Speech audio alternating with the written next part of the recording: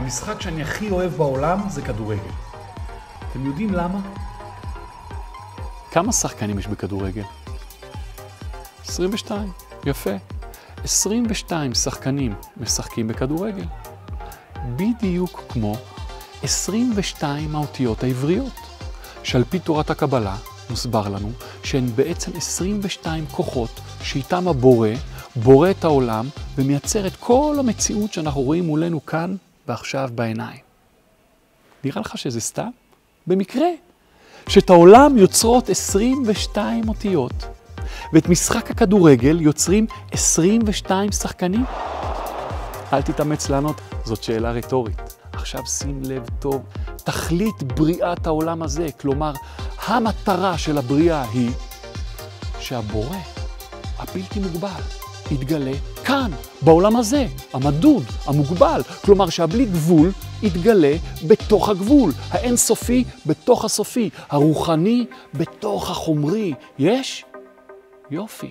עכשיו תגיד לי צדיק, מה המטרה בכדורגל? לנצח, להבקיע גולים, נכון? יופי. מה זה גול? כדור, כלומר עיגול, כלומר אין סוף, שנכנס וחודר לאן? לתוך השער. כלומר למלבן, כלומר לתוך הסוף. זה גול, וזו בדיוק תכלית בריאת העולם, שהאין סוף, הכדור, הבלתי גבולי, העל טבעי, האלוהי, ייכנס ויחדור ויתגלה כאן, בסוף, בשער, ובאנגלית זו המטרה, גול, וזה בדיוק תכלית בריאת העולם. זה נראה לך סתם? איזה גול יפה, אה? 1-0 ליח שלי יקר. גול!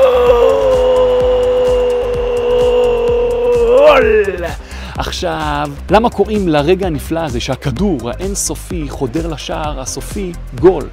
אפילו ביפנית נראה לי קוראים לגול גול. אתה יודע איך קוראים בעברית תורנית, קבלית, מיסטית, תנכית, אלוקית לגול הזה? שכולנו מחכים ומצפים ומייחלים לו אלפי שנים, רגע ההפי אנד של הבריאה, שבו הבורא, האין סופי, מתגלה, סוף כל סוף, כאן אצלנו בממד הסופי, גאולה. עכשיו אולי אתה תבין סוף כל סוף למה בכל השפות בעולם קוראים לרגע שבו הכדור נכנס לרשת גול. למה? כי גול מגיע מלשון גאולה, אחינו. כן, גול גאולה. עכשיו תבין למה כל כך הרבה אנשים מוכנים לשלם כל כך הרבה כסף, ולהמתין כל כך הרבה זמן, כל כך הרבה פעמים, לפצח כל כך הרבה גרעינים, כדי לחכות לגול. למה? מה כל כך מרתק לראות 22 שחקנים רצים אחרי כדור, רק כי הכדור הזה אמור להיכנס מתישהו לשער אחי. וזה המיקרו-קוסמוס שלנו, כאן, בעולם הזה.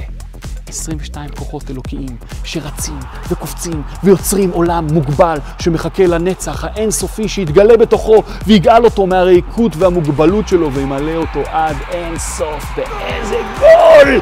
מה חשבת? שאיך יקראו לרגע כזה? שמתקבצים סביבו מיליונים בציפייה לראות איך הוא מתממש. איך חשבת שיקראו לרגע כזה? נבדל! לא אחי! גול! כי להכל, כולל הכל, גם לגול רדוד ככל שיהיה, יש קשר הדוק ללמעלה.